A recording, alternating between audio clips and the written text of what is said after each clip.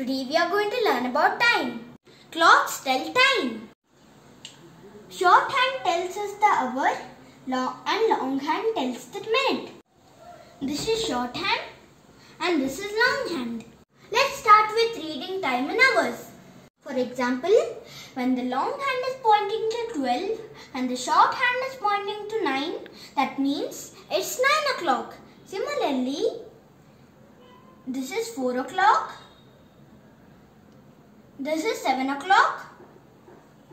Now let's see reading time in half hours. Half hour is also called as half past. For example, when the hour hand is in, in the middle of 3 and 4 and the long hand is pointing to 6, it is called 3.30 or half past 3.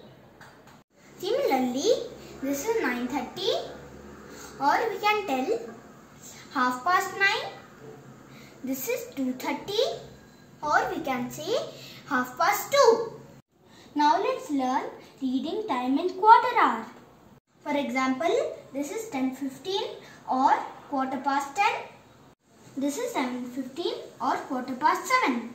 This is 6.45 or quarter to 7. This is 3.45 or quarter to 4. So friends, this is all about time. Bye friends, see you in the next video.